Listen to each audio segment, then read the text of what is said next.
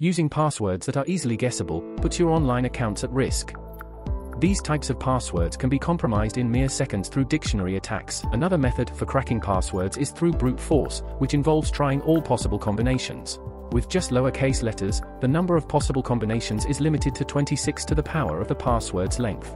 A password with 5 letters has a total of 11,881,376 combinations, which may sound substantial, but modern technology can crack well over 7 billion passwords per second. If you add uppercase letters and 20 of the most popular symbols, it becomes 3,707,398,432. Then if the password length is increased to 10, the number of possible combinations becomes an astonishing 13 quintillion 744 quadrillion 8, 103 trillion 133 billion 596 million 58,600, and 24, it would take 62 years to try every combination at 7 billion guesses per second.